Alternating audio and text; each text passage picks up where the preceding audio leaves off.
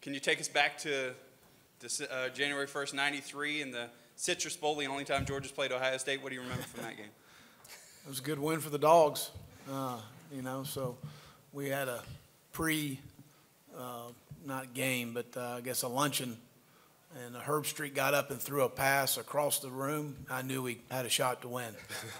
Uh, so make sure he knows I said that.